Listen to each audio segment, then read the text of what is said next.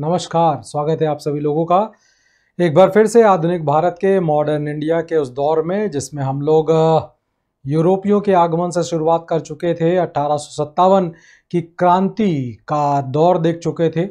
अठारह से लेकर उन्नीस अठारह तक का वो दौर जो भारत में आने वाले समय में परिवर्तन की बयार लेकर आने वाला है, जो राजनीतिक तौर पर परिवर्तन की हवा और बयार ले रहा है।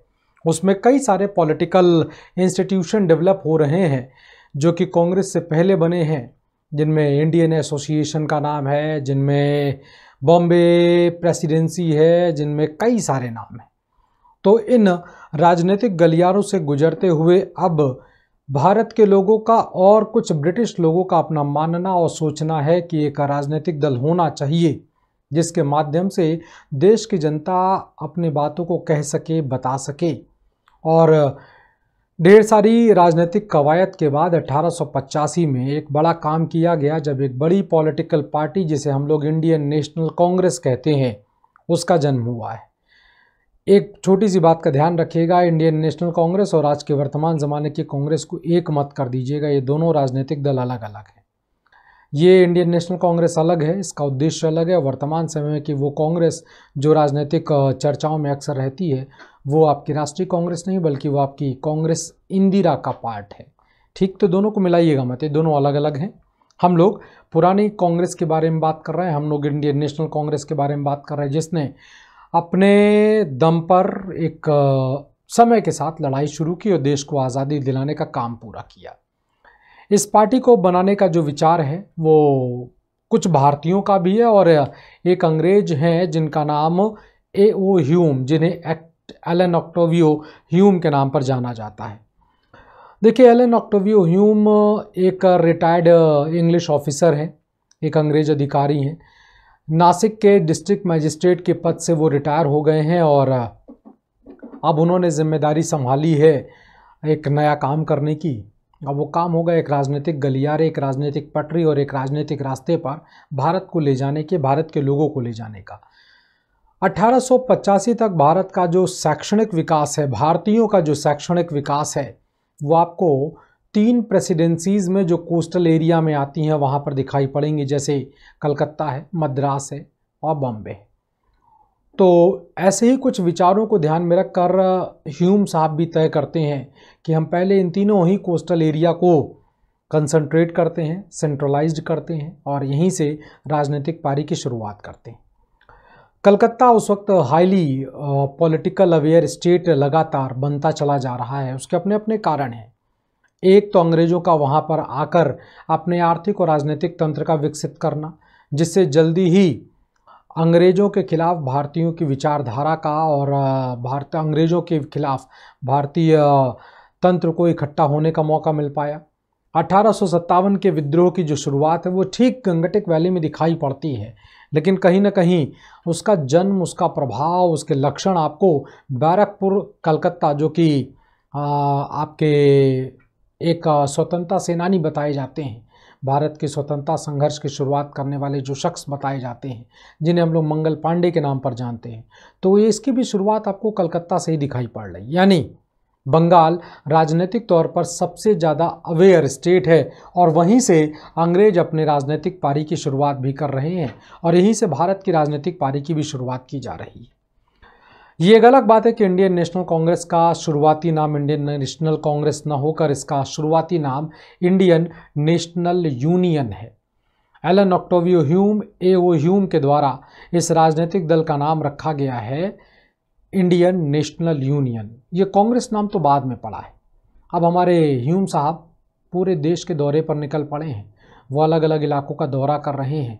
अलग अलग इलाके के बड़े बड़े राजनीतिक और समाज में अपना एक स्थान रखने वाले लोगों से मुलाकात करके इस पे एक पॉलिटिकल पार्टी जिसका उन्होंने संरचना किया है, जिसका उन्होंने नाम दिया है, उसकी शुरुआत करते हुए दिखाई पड़ रहे हैं। और कहते तो यहाँ तक हैं कि वो इस राजनीतिक दल को बनाने के लिए हिमालय पर्वत की चोटियों तक गए हैं। वहाँ पर जाकर वहाँ के जो ऋषि मुनि हैं, उनसे उन्होंने मुलाकात की है। उन ऋषि मुनियों के माध्यम से उन्होंने ये जानने की कोशिश की कि भारत के लोगों के बीच किस प्रकार की विचारधारा चल रही है। और उसका बहुत बड़ा कारण है कि हमारे देश में अगर अपने धर्म को देखें, जो हमारा हिंदू धर्म है, अगर हम लोग उसकी चर्चा करें तो हिंदू धर्म में जो ऋषि मुनि हैं, अपना एक, उनका एक महत्व है, उनका एक अपना अस्तित्व है। वो देश के अलग अलग धार्मिक कार्यक्रमों में हिस्सा, कार्यक्रम में हिस्सा लेते हैं। अगर एक छोटे से कार्यक्रम की बात करें, इलाहाबाद में होता है, जिसे प्रयाग कहा जाता है, जो छः साल और बारह साल पर होता है। माघ मेला होता है, जो प्रतिवर्ष होता है। तो ऐसे धार्मिक उत्सवों में हिस्सा जो ले रहे हैं अलग अलग जगहों पर, ये आपके ऋषि मुनि हैं, जिनका प्रमुख तपस्वी स्थल जो है, वो हिमालय पर्वत है। तो उन्होंने हिमालय पर्वत में ऋषि मुनियों के साथ मिलकर ये विचार किया कि क्या सोच है भारतीयों की अंग्रेज़ों के प्रति? क्या वो सोच रखते हैं? और कई ऐसी बातें हैं जो सिर्फ़ और सिर्फ़ ऋषि मुनि ही जान पाए। क्योंकि उन समाज के लोगों के प्रति जो एक आस्था है, उनके प्रति जो मन में विश्वास है, उनके प्रति तो बहुत सारी बातों को उन्होंने इस ऋषि मुनियों के माध्यम से बताया है। उनमें उनका मार्गदर्शन लिया है और ऋषि मुनियों के द्वारा इस तरह के आंदोलन चलाए भी गए हैं। हम लोग ने एक छोटी सी चर्चा सन्यासी आंदोलन पर किया था। तो सन्यासी आंदोलन में भी आपको जो सन्यासी शब्द दिखाई पड़ रहा है, वो भी कुछ ना कुछ इसी प्रकार के ऋषि मुनि ही हैं, जो कि भारत को, भारत के लोगों को बहुत सारी बातें बताने और मार्गदर्शन देने में सक्षम हैं। इसलिए कहीं ना कहीं उनका भी बड़ा एक महत्वपूर्ण योगदान है। इस पॉलिटिकल पार्टी बनने में, वो बात अलग है कि हमें किसी का नाम नहीं पता है। वो बात अलग है कि वो ऋषि मुनि कौन थे। वो बात अलग है कि उन ऋषि मुनियों से किस प्रकार से मुलाकात हुई। उन ऋषि मुनियों ने ह्यूम साहब को क्या बातें बताई? इनके बारे में कहीं कोई पुष्ट प्रमाण है नहीं। लेकिन हाँ ज़रूर कुछ ना कुछ योगदान तो रहा है। इसमें तो कोई दो राय नहीं रही है। अब कांग्रेस को बनाने, यानी नेशनल यूनियन, जैसे पॉलिटिकल पार्टी को बनाने के बाद ह्यूम साहब ने अपना दौरा शुरू कर दिया है। कई बड़े पढ़े लिखे और पढ़े नेताओं से उनकी मुलाकात हो रही है। फिरोज शाह मेहता हैं, गोपाल कृष्ण गोखले हैं, आपके दादा भाई नौरोजी हैं, दिनशा वाचाइदुल जी हैं, कई बड़े नाम। सुरेंद्र नाथ बनर्जी हैं, डब्ल्यू सी बनर्जी हैं, बहुत बड़े बड़े नाम। इन सभी लोगों से मुलाकात होती है। और मुलाकात के बाद अपने विचारों को रखते हुए और धीरे धीरे जो भारत के कई एक राजनीतिक दल बन चुके थे, टूटे और बिखरे अवस्था में दिखाई पड़ रहे थे। इन सबको इकट्ठा करने, इन सबको एक करने में एक बड़ा योगदान इनका दिखाई पड़ा है। तो सफल रहे। और अब इन्होंने उस चीज़ को आगे बढ़ाना शुरू कर दिया। और राजनीतिक तौर पर एक सभा बुलाई है इन्होंने। हमारे ह्यूम साहब ने और वो सभा बुलाई थी उन्होंने पूना में और वहाँ पर ही इसका अनाउंसमेंट होने वाला है। इस पूरी कवायद में एक सवाल आपसे पूछा जाता है, वो सवाल ये कि जब कांग्रेस बनी तो भारत का वाइसरॉय कौन था? तो ध्यान रखिएगा, जब कांग्रेस की स्थापना की जा रही है, उस वक्त जो भारत का वाइसरॉय है, उसे हम लोग लॉर्ड डफरिन के नाम पर जानते हैं। तो कहीं ना कहीं डफरिन का एक बड़ा योगदान रहा है और डफरिन व्यक्तिगत तौर पर भी चाहते हैं कि कोई ऐसी पॉलिटिकल पार्टी बने और वो इस ओर से अपने लिए जितनी भी आर्थिक मदद कर सकते हैं, वो कर भी रहे हैं। अब उनके क्या मंतव्य हैं? कि अंग्रेज़ों की साजिश है या शायद उनका अपना व्यक्तिगत सोच है? ये क्या है? इसके बारे में सही से बता पाना बड़ा मुश्किल है, बड़ा विवाद है। क्योंकि अगर हम लोग, यंग इंडिया नाम की किताब की बात करें, जिसे लाला लाजपत राय साहब ने लिखा है तो उसमें तो उन्होंने कहा, साहब, ये अंग्रेज़ों के द्वारा संचालित और अंग्रेज़ों के द्वारा बनाई गई एक ऐसी संस्था है, जिसमें अंग्रेज़ अपनी संस्था, अपने का शासन को बनाए और बचाए रखने के लिए भारत में, भारत के लोगों के अंदर जग रहे गुस्से की जानकारी, उसे कैसे रोका जाए, क्या किया जाए? तो कहीं ना कहीं इन सब के बारे में वो विरोधाभासी बयान देते हैं कि कांग्रेस तो अंग्रेज़ों की बनाई हुई संस्था थी, अंग्रेज़ों के द्वारा उसे बनवाया गया है और कुछ भारतीयों ने उसमें समर्थन किया है। उनके अपने विचार हैं। रजनी पामदत्त साहब ने, जो कि एक बड़े इतिहासकार हैं, उन्होंने इस बात को अपने किताब में आगे बढ़ाया, जिसे इंडिया टुडे के नाम पर जाना गया। उसमें उन्होंने तो ये तक कह दिया कि साहब, ये पूरी तरह से अंग्रेज़ों का बनाया हुआ एक राजनीतिक दल है। सेफ्टी वॉल्व तक का संज्ञा दिया गया आगे चलकर। इस कांग्रेस जैसी संस्था को। ये बड़े ही अपने आपस के विवाद के मुद्दे रहे हैं, आपस के परेशानियों की बातें रही हैं। हम लोगों को उन चक्करों में ज़्यादा नहीं पढ़ना है, क्योंकि वो पूछा नहीं जाएगा। हाँ एक शब्द मैंने ज़रूर प्रयोग कर लिया है, और वो किताब है आपकी यंग इंडिया। तो एक सवाल पूछा जाता है और पूछा जा चुका है। ये सवाल जो पूछा गया है, वो आपके सिविल एग्जामिनेशन में भी पूछा गया है, स्टेट पी में भी पूछा गया है, लोअर एग्जामिनेशन में भी पूछे जा चुके हैं कि यंग इंडिया नाम की किताब किसने लिखी है? तो ध्यान रखिएगा यंग इंडिया नाम की किताब के राइटर और author of young India was Lala Lajpat Rai याद रखिएगा, मैं किताब की बात कर रहा हूँ, ठीक? क्योंकि यंग इंडिया नाम का एक मैगजीन है, एक पत्रिका भी है। उस पत्रिका के जो संपादक हैं, उस पत्रिका के जो मालिक बताए जा रहे हैं, वो हमारे महात्मा गांधी बताए जा रहे हैं। तो दो अलग अलग चीज़ें हैं। Young India book Lala Lajpat Rai और यंग इंडिया जो मैगज़ीन है वो हमारे महात्मा गांधी जी का है। तो इस बात पर ध्यान रखिएगा। तो कुछ ऐसी चीज़ें आपको दिखाई पड़ेंगे ऐसे सवाल पूछे जाते हैं इसलिए मैंने आपको यहाँ पर बता दिया। रजनी पामदत्त को भी लेकर सवाल पूछा जा चुका है कि रजनी पामदत्त के किताब का नाम बताइए तो याद रखिएगा रजनी पामदत्त की किताब का नाम है इंडिया टुडे जिसमें उन्होंने सेफ्टी वॉल्व जैसे आ, कुछ संज्ञा दी है कांग्रेस को।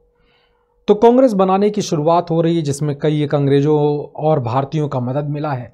पूना में कांग्रेस का, जिसका पुराना नाम इंडियन नेशनल यूनियन है, याद रखिएगा, कांग्रेस का पुराना नाम इंडियन नेशनल यूनियन है। अब इस पॉलिटिकल पार्टी की एक राजनीतिक मीटिंग बुलाई गई है पूना में।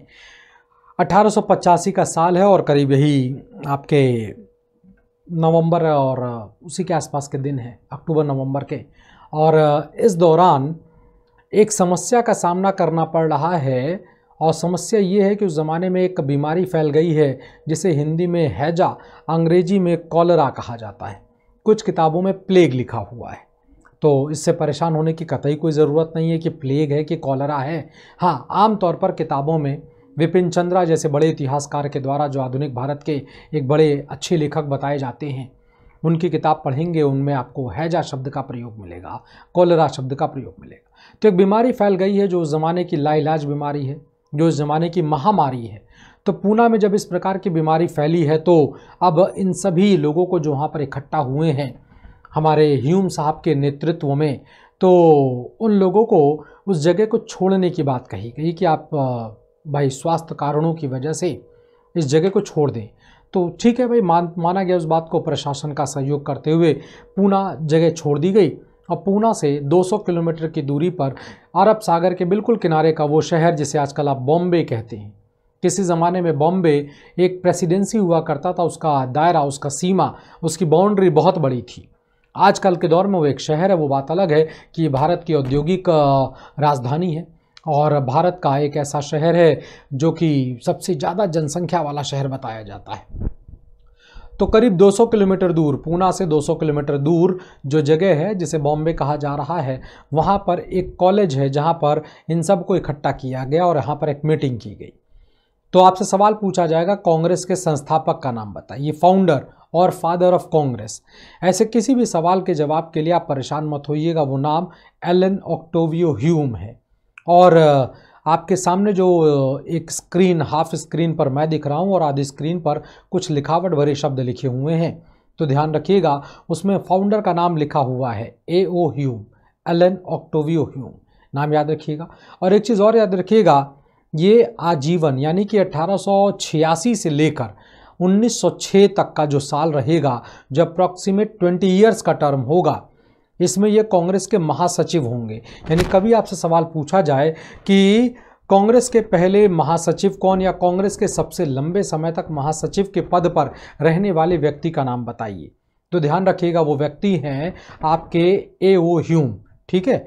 Founder, father of Congress, A O Hume, general secretary of Congress, A O Hume. क्योंकि कुछ समय के लिए महासचिव का पद जो है, वो दादा भाई नौरोजी ने स्वीकार किया था, वो उस पद पर थे, लेकिन जल्दी उन्होंने वो पद छोड़ दिया था। वो क्यों छोड़ा तो हम लोग चर्चा करें, वो हम आपको बताएँगे, डोंट वरी।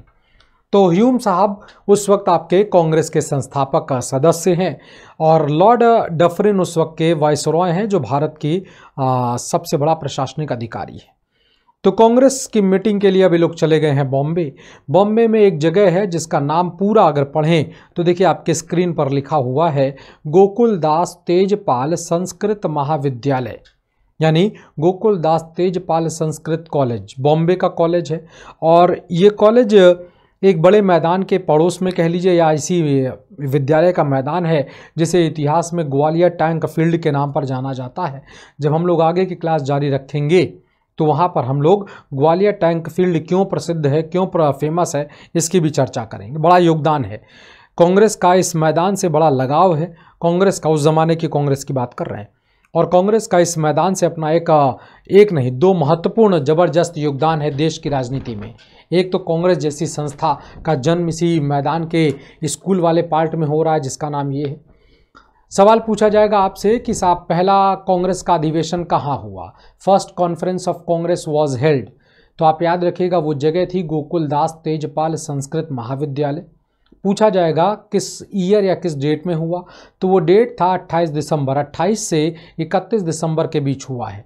तो 28 दिसंबर अट्ठारह ये कांग्रेस के फॉर्मेशन का डे है। ये कांग्रेस की संस्था स्थापना का दिन है, इस दिन कांग्रेस की स्थापना हो रही है और कांग्रेस के अपनी पहली बैठक भी हो रही इसी पहली बैठक में यहीं पर यूनियन, जब दा ह्यूम साहब ने अपना प्रस्ताव रखा, इस पॉलिटिकल पार्टी का नाम रखा कि साहब इसका नाम हम ये रखेंगे, जो अभी हम बार बार बोलते चले आ रहे हैं तो सजेशन आपके क्या हो सकते हैं? कोई और नाम? ये कैसा मतलब सभी लोगों के सामने प्रस्ताव रखा गया? तो Dadabhai Naoroji grand old man of Congress grand old man of India अगर इंडिया बोले तो ज़्यादा बेहतर है। Grand old man of India भाई भारत के जो वयोवृद्ध हैं, जिन्हें हम लोग दादा भाई नौरोजी के नाम पर जानते हैं, उन्होंने अपनी बात को रखा कि, साहब, मैं चाहता हूँ कि यूनियन शब्द की जगह पर कांग्रेस शब्द का प्रयोग किया जाए। उन्होंने अपना तर्क दिया है। और तर्क में उन्होंने बताया कि साहब, जिस एक राजनीतिक दल को आप बनाने की चेष्टा रखते हैं, आप कोशिश कर रहे हैं, आप आकांक्षा करते हैं इस राजनीतिक दल को बनाने का तो इस राजनीतिक दल को बनाने के पीछे जो मंतव्य है, जो उद्देश्य है, जो मोटो है, वो भारतीय लोगों को पॉलिटिकली अवेयर करना है, राजनीतिक तौर पर उन्हें एकत्र करना है, और आने वाले समय में राजनीतिक कोई ऐसी बड़ी गड़बड़ी जो अठारह की क्रांति में हो चुकी थी, ऐसा कुछ ना होने पाए। इसलिए ये सारी कवायद हो रही है। आंसर हाँ में मिला। तो अब हमारे दादा भाई नौरोजी ने कहा तो फिर डेफिनेटली इसका नाम आप कांग्रेस रखें। जो कांग्रेस शब्द है, ये आपके भारत का और इंग्लैंड का शब्द नहीं है। ये आपका नॉर्थ अमेरिका से लिया गया शब्द है। नॉर्थ अमेरिका में कांग्रेस शब्द का जो मतलब होता था, वो मतलब होता था लोगों का समूह। जैसे आप ग्रुप कह लीजिए, जैसे आप मॉब कह लीजिए। देखिए मॉब और ग्रुप इन दोनों में मॉब में तो खैर मॉब का कोई नियम नहीं होता, कोई धर्म नहीं होता तो मॉब मत बोलिएगा। समूह है जिसका अपना एक उद्देश्य है। ऐसा समूह जिसका अपना एक उद्देश्य है। ऐसा समूह जो अपने उद्देश्यों की प्राप्ति के लिए अपने जन्म की शुरुआत कर रहा है। इसलिए ये लोगों का समूह है। अमेरिका में, नॉर्थ अमेरिका में पंचायत जो होती थी, जो भारत में पंचायत होती है, उसे वहाँ पर कांग्रेस कहा जाता है। आगे चलकर जब अमेरिका की आज़ादी की लड़ाई और उस आज़ादी की लड़ाई को तीन अमेरिका के बड़े नेताओं ने लिए लीडरशिप दिया है और उनमें से एक नाम आता है जॉर्ज वॉशिंगटन का, जो सबसे ज़्यादा प्रसिद्ध और सर्वमान्य नेता के तौर पर है अमेरिकन रेवोल्यूशन के और वो आगे चलकर अमेरिका के राष्ट्रपति बने। तो अमेरिका के जो संसद बनाई गई वो उन्होंने वहाँ के इसी शब्दावली को प्रयोग करते हुए अमेरिकन पार्लियामेंट का नाम जो है वो कांग्रेस रख दिया। तो ध्यान रखिएगा, अमेरिके का, अमेरिका की संसद को क्या बोला जाता है? तो पार्लियामेंट बोला जाता है। सॉरी, पार्ले, पार्लियामेंट बोल दिया, कांग्रेस बोला जाता है। Parliament of America known as a Congress. तो कांग्रेस शब्द का उद्भव, जन्म आपका अमेरिका से हो रहा है। उसी अमेरिका के शब्द को अब कांग्रेस और दादा भाई नौरोजी के द्वारा इस सम्मेलन में रखा गया है और इस सम्मेलन के लोगों के द्वारा और न्यूम ह्यूम साहब के द्वारा इस एक नाम के प्रस्ताव को स्वीकार कर लिया गया। तो अब कुल मिलाकर कांग्रेस का नाम आ गया इंडियन नेशनल कांग्रेस। इस अधिवेशन में जो अध्यक्षता संभालने की ज़िम्मेदारी दी गई है, वो अध्यक्षता दी गई है डब्ल्यू सी बनर्जी को, व्योमेश चंद्र बनर्जी साहब को यह अध्यक्षता सौंपी गई है। अब एक आपसे छोटा सा सवाल हम पूछ लेते हैं और सवाल ये कि अच्छा अभी नहीं पूछेंगे, बाद में पूछेंगे। एक दो एक दो और सत्र पे चर्चा कर लें, तब पूछेंगे। तो डब्ल्यू सी बनर्जी, जिनका पूरा नाम व्योमेश चंद्र बनर्जी है, हम इस शब्द को लिख दें ताकि किसी प्रकार का कोई कंफ्यूजन ना हो। व्योमेश। बाकी तो आप जान ही लेंगे। ये शब्द मैंने सिर्फ़ इसलिए लिखा है, व्योमेश शब्द मैंने इसलिए लिखा है ताकि, देखिए, कुछ जगहों पर कुछ किताबों में गलती से जो नाम लिख गया है, वो नाम कुछ ऐसा लिखा हुआ है। इंग्लिश में यू डॉट सी बनर्जी लिखा हुआ है। ठीक है ना? मैं हट जाता हूँ स्क्रीन से तो आप लोगों को साफ़ साफ़ दिखाई पड़ेगा। तो वो नाम यूसी बनर्जी लिखा हुआ है। और यूसी बनर्जी का फुल फॉर्म भी लिख दिया गया है उमेश चंद्र। ठीक है ना? थोड़ा सा आपको ध्यान रखना, ये मिसप्रिंटिंग का पार्ट है। ये गलती से छप गया है। इंटेंशनली गलत नहीं किया गया है, ये गलती से छप गया है। तो गलती से जो छप गई बातें हैं, उसे हम लोग सुधार लेते हैं। तो ध्यान रखिएगा, उनका जो शॉर्ट नेम है, वो डब्ल्यू सी बनर्जी है और फुल फॉर्म वाला जो नेम है, वो व्योमेश चंद्र बनर्जी जो नीचे की ओर है, जो अंडरलाइन मैंने कर दिया, ये उनका रियल नेम है, ठीक है ना? उमेश शब्द आपको कई किताबों में पढ़ने को मिलेगा। जैसे आप उनकी किताब ले लें। शुक्ला साहब की, आर एल शुक्ला साहब की ले लें किताब। तो उसमें भी आपको गलती से उमेश, ये गलती है। इंटेंशली किसी ने नहीं छापा है, ठीक है ना? इसलिए किसी को दोष मत दीजिएगा कि गलत छाप दिया, ये कर दिया, वो कर दिया। ये गलतियाँ हैं जो हो जाती हैं, मानवीय त्रुटियाँ हैं जो हो जाती हैं, इसलिए इनमें किसी को दोष मत दीजिएगा। ये जानबूझकर नहीं की गई ठीक है? जैसे मुझसे भी कभी हो जाता है मैं भी आ, सोच कुछ और रहा होता हूँ दिमाग से मुँह से कुछ और निकल जाता है। तो मैंने जानबूझ के ऐसा नहीं किया ये इंटेंशनली नहीं है बल्कि ये ह्यूमन एरर है जो हो जाती है ठीक है? तो डब्ल्यू सी बनर्जी याद रखिएगा व्योमेश चंद्र बनर्जी उनका नाम था। इस पहले अधिवेशन में हिस्सा लेने वाले लोगों की संख्या सदस्यता लेने वाले लोगों की जो संख्या है वो बहत्तर है। क्योंकि भीड़ में यानी जो आने वाले लोगों की संख्या है वो तो सौ थी। सौ लोगों ने पार्टिसिपेट किया है फ़र्स्ट कॉन्फ्रेंस में, फ़र्स्ट कांग्रेस के कॉन्फ्रेंस में, लेकिन बहत्तर लोग हैं जो इसमें सदस्य बन रहे हैं। नाम अभी मैं कुछ देर पहले बता चुका था, दिनशा वाचा इदुल जी हैं डब्ल्यू सी बनर्जी साहब तो कर अध्यक्ष ही हैं, दादा बहनोरो जी हैं, फिरोज शाह मेहता हैं, बहुत बड़े बड़े नाम हैं। तो ये लोग हैं। हाँ सुरेंद्र नाथ बनर्जी ने अभी कांग्रेस से कोई रिश्तेदारी नहीं की है। वो अपने इंडियन एसोसिएशन के साथ अलग हैं। वो बात अलग है कि आगे चलकर उन्हें भी इस ओर आने के लिए बुलाया जाएगा और वो शामिल भी होंगे। इसमें कोई दो राय नहीं। लेकिन अभी फ़िलहाल इस अधिवेशन तक वो अलग हैं। तो कुल मिलाकर पहला अधिवेशन हुआ। बहत्तर लोगों ने हिस्सा लिया। तो यही सवाल आपसे पूछा जाएगा कि कांग्रेस के पहले अधिवेशन में हिस्सा लेने वाले सदस्यों की संख्या total number of person who participate in first conference तो ध्यान रखिएगा that was seventy two members बहत्तर लोग थे जिन्होंने हिस्सा लिया है, ठीक है ना? फिर मैं आपको बता दे रहा हूँ दोबारा से कि यहाँ पर जो आए हुए लोग थे, उनकी संख्या तो सौ है। सदस्यता ग्रहण वाले, करने वाले लोगों की जो संख्या दिखाई पड़ती है, वो आपकी बहत्तर है। ठीक? तो ये कांग्रेस बन गई, कांग्रेस की शुरुआत हो गई और अब कांग्रेस ने धीरे धीरे करके एक निश्चय और किया इसी सभा में। वो निश्चय ये है कि हम लोग प्रतिवर्ष each and every year Congress का ईयरली कॉन्फ्रेंस करेंगे, वार्षिक अधिवेशन करेंगे। हाँ ये भी तय किया गया कि वो वार्षिक अधिवेशन जो होगा, वो किसी एक जगह पर नहीं होगा, वो बदल बदल कर होगा, जैसे अभी पहला कॉन्फ्रेंस जो हुआ, जो बॉम्बे में हुआ है तो अगला जो अधिवेशन होगा, उसके लिए जगह का चुनाव किया जाए। तो मिलकर एक निर्णय निकाला गया कि कांग्रेस का जो दूसरा अधिवेशन होगा, वो आपका कलकत्ता में किया जाएगा। तो अगला अधिवेशन कलकत्ता में होगा, उसके बाद कहीं और होगा, उसके बाद कहीं और होगा। तो कांग्रेस के ये अधिवेशन अलग अलग जगहों पर होते रहेंगे, ईयरली कॉन्फ्रेंस अधिवेशन होंगे, जिनकी डेट भी डिसाइड कर दी गई है 26 से लेकर 31 दिसंबर के बीच में इन अधिवेशन का संचालन किया जाएगा। तो ये सारी बातें हुई तो कुल मिलाकर कांग्रेस के अधिवेशन की बात हो गई, कांग्रेस को आगे चलाने की बात हो गई और अब अगले साल की मीटिंग कलकत्ता में की जाएगी, ये तय किया जा चुका है। तो अगले साल की जो दूसरी मीटिंग हो रही है, कांग्रेस का जो सेकेंड कॉन्फ्रेंस है, वो जो हो रहा है, वो आपका होने वाला है कलकत्ता में। तो जगह पहले से डिसाइड है ईयर भी डिसाइड है डेट भी लगभग डिसाइड है। Last days of December month दिसंबर महीने के अंतिम दिनों में होने वाला है वही अट्ठाईस दिसंबर वाली बात है। तो कलकत्ता में पहुँच गए हैं सब लोग।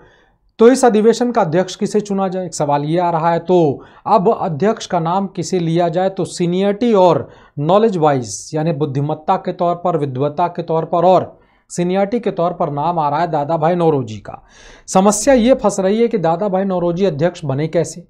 क्योंकि दादा भाई नौरोजी इस वक्त कांग्रेस के महासचिव हैं और इंडियन नेशनल कांग्रेस 1947 तक कांग्रेस की एक परंपरा रही है। मैं बार बार कह रहा हूँ कि ये दूसरी कांग्रेस है, ये पुरानी कांग्रेस है, नई वाली कांग्रेस से इसका कोई भी तालमेल नहीं है। तो इसको मत जोड़िएगा। वो एक अलग बात है कि एक दो उस दल के परिवार के सदस्य के लोगों ने आगे चलकर चला दिया, संस्था चलाई तो बात दूसरी है, लेकिन वो कांग्रेस ये नहीं है। तो कुल मिलाकर अध्यक्ष कौन बने? तो दादा भाई नौरोजी को अध्यक्ष के तौर पर सब लोग ने अपना नाम दिया और दादा भाई नौरोजी को अध्यक्ष बनाया जाए। एक व्यक्ति, एक पद का कॉन्सेप्ट है द कांग्रेस के अंदर। तो दादा भाई नौरोजी तो महासचिव हैं तो अध्यक्ष कैसे बन सकते हैं? तो अब यहाँ पर परिवर्तन ये किया गया कि दादा भाई नौरोजी को अध्यक्ष बनाने के लिए उनको, उनके प्रीवियस वाले पोस्ट से जो महासचिव का पद है, उससे उनको मुक्ति दे दी गई और अब वो अध्यक्ष नामित कर दिए गए। तो अब महासचिव का पद जो है, एलन ऑक्टोवियो ह्यूम ने उठाया 1886 से लेकर अगले 20 साल तक 1906 तक। वो कांग्रेस के महासचिव रहेंगे। उसके बाद चूँकि वो बूढ़े हो गए, बीमार भी रहने लगे तो वो अपना लंदन में है और 1912 में उनकी डेथ भी हो जाती है। तो खैर ह्यूम साहब अब महासचिव बन चुके हैं और अध्यक्ष के तौर पर दादा भाई नौरोजी बना दिए गए। यहाँ पर सेकेंड मीटिंग में कोई बहुत ज़्यादा बातें नहीं हुई हैं। लेकिन हाँ एक खास बात हुई कि इस वक्त आपके जो वॉइसरॉय ऑफ़ इंडिया हैं जिन्हें हम लोग लॉर्ड डफरिन के नाम पर जानते हैं उन्होंने कांग्रेस में आने वाले जो मेंबर्स हैं उनको अपनी ओर से डिनर करवाया है जिसे उद्यान भोज का आ, नाम दिया जाता है। देखिए, पहले अधिवेशन की अगर बात करें तो वहाँ पर कुल लोगों की संख्या बहत्तर थी। हम लोग ने भी देखा भी था, अपनी पीपीटी में वो लिखा भी हुआ था तो बहत्तर लोग थे। लेकिन इस बार तक आते आते ये लोगों की संख्या बढ़ गई, यानी कांग्रेस का, जनाधार कांग्रेस के लोगों का झुकाव बढ़ रहा है और करीब करीब 434 के आसपास सेकेंड कॉन्फ्रेंस में आते आते 434 लोग हैं जो कांग्रेस के मेंबर बन चुके हैं। देखिए, एक लंबी छलांग है अपने ज़माने के हिसाब से।